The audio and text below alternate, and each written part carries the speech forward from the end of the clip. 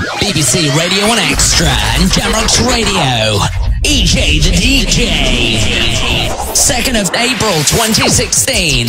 Live at Club Bongo International. Check us out on Facebook. It's all about the reggae.